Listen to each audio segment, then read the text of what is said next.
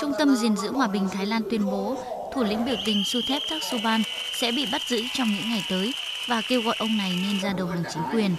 Theo đó, ông Suthep sẽ bị bắt với tội danh cầm đầu nổi loạn, chứ không phải với tư cách là người lãnh đạo phong trào biểu tình chống chính phủ.